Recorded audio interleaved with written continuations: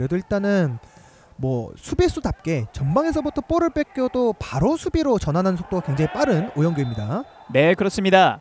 양 팀의 선수들이 좁은 공간에서 이렇게 열심히 싸워주고 있... 아, 오, 근데 지금은 네 신경전이 펼쳐지고 있는데요.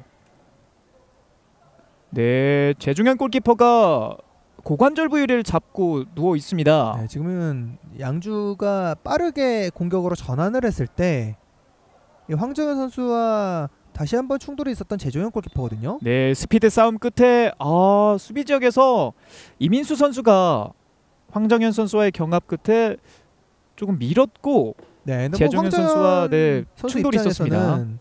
아무래도 이민수 선수가 본인을 좀 푸싱하는 과정에서 속도가 더 붙으면서 재종현과의 충돌이 있었기 때문에 아무리 뭐 황정현 골키퍼 입장, 아, 황정현 선수 입장에서는 일단 고의가 아닌 부분에 대해서 좀 얘기를 했었고 이민수 네. 선수가 좀 밀다 보니까 황정현 선수도 좀 부상으로도 재종현 골키퍼도 이어질 수 있는 장면이 있었거든요.